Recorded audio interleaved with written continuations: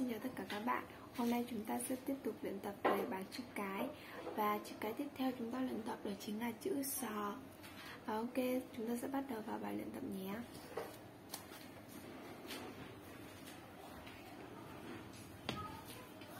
Chữ sò chúng ta gồm có hai nét.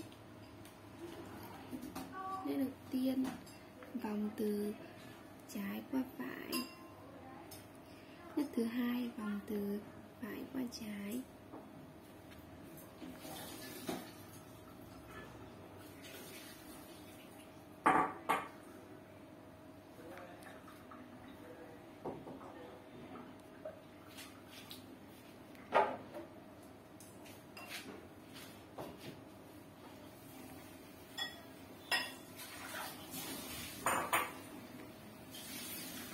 Ok, rồi chúng ta sẽ luyện tập thêm hai dòng chữ xóa nữa nhé.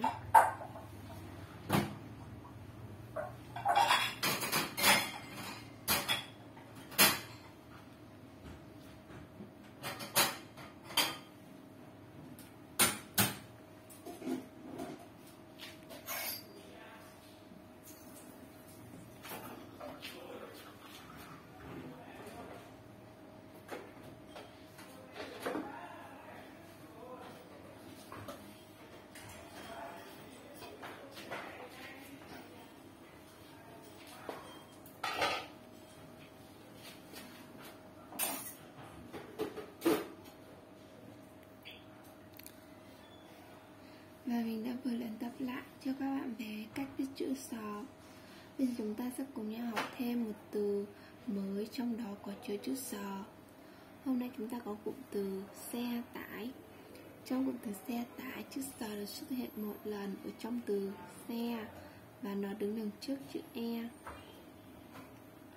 Từ xe thì gồm có hai chữ cái, đó chính là chữ sò và chữ E để viết được từ xe, đầu tiên chúng ta sẽ bắt đầu viết từ chữ sò.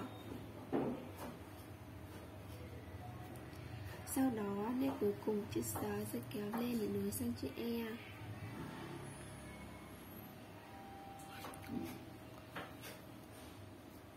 Và chúng ta đã được từ xe đầu tiên Và chúng ta sẽ viết sang từ xe thứ hai.